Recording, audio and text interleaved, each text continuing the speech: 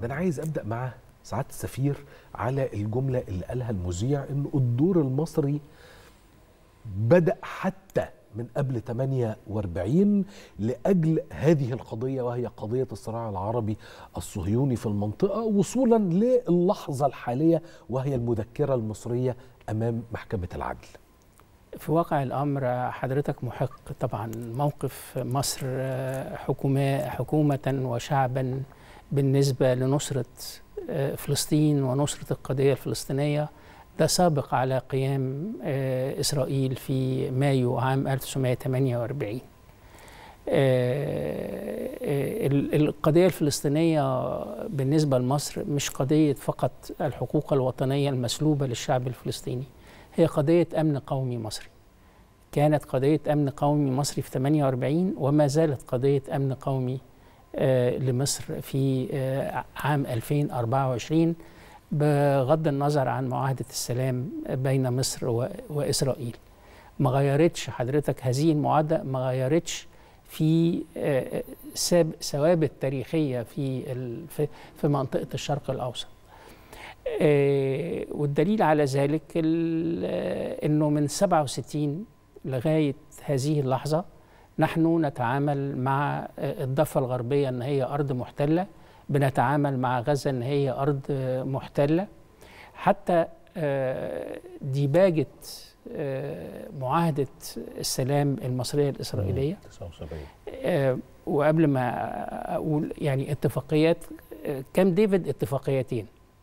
كام ديفيد في سبتمبر 78 اتفاقيتين. اتفاقية تتعلق بمصر وإسرائيل. واتفاقية ثمانية إطار السلام في الشرق الأوسط.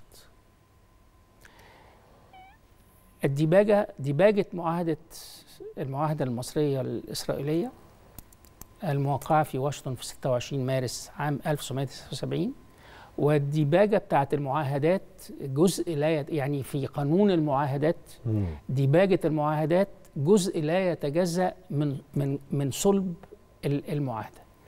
الديباجة بتاعت معاهدة السلام بتقول إيه؟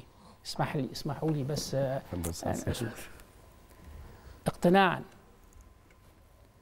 بالضرورة القصوى للتوصل إلى سلام عادل وشامل ودائم في الشرق الأوسط في إطار قراري مجلس الأمن 242 و 338 الالتزام بإطار السلام في الشرق الأوسط بكام ديفيد في 17 سبتمبر 1978 اقتناعا بأن التوقيع على معاهدة للسلام بين مصر وإسرائيل يمثل خطوة هامة في عملية السعي للسلام الشامل في المنطقة وللتوصل إلى تسوية للصراع العربي الإسرائيلي بكامل أبعاده.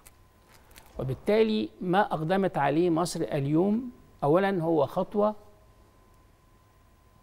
على المستوى الشخصي وعلى المستوى الدبلوماسي وعلى المستوى الاستراتيجي خطوة في غاية الأهمية. وخطوة يعني أعتقد إن هي هتحظى بتأييد واسع من الجماهير المصرية. بدون استثناء. الجماهير المصرية كانت منتظرة وكانت متوقعة وكانت مطمئنة إن في رد قوي من مصر على ما يدور في قطاع غزة من عدوان إسرائيلي سافر. فدي شاره استجابة اولا للتطلعات الشعبية واستجابة حضرتك لاستجابة قوية وجاءت في وقتها لتمادي الإسرائيليين في عدوانهم على الفلسطينيين في قطاع غزة وفي الضفة الغربية. الإس... ال...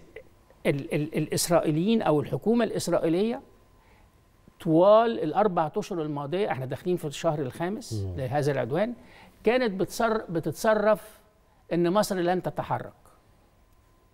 إن مصر لن تتحرك.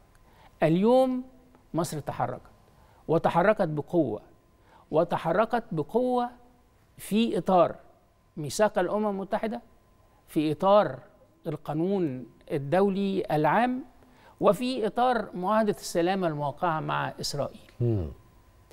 وما آه، آه، يعني ما أقدمنا عليه اليوم لا شك إن هو هيمثل للشعب الفلسطيني آه، قدرة على الاستمرار في التصدي للعدوان الإسرائيلي سواء في قطاع غزة أو في الضفة الغربية. وأعتقد أنه إسرائيل كلها في هذه الساعة وفي هذا اليوم في آه، آه، في حالة تأهب قصوى. مصر دي الخ... ال- مصر لماذا فعلت مصر هذا؟ و- و- و- وهيجعل في ضغوط متزايدة على الحكومة الإسرائيلية إن هي تعيد حساباتها في مجمل الموقف سواء في القطاع أو بالنسبة للقضية الفلسطينية أو بالنسبة لتعاملها مع الشرق الأوسط ككل. هو إذا كان بينهم رجل رشيد زي ما قال، أليس بينكم رجل رشيد؟ واضح أن هذه الحكومة ليس فيها ولا واحد رشيد.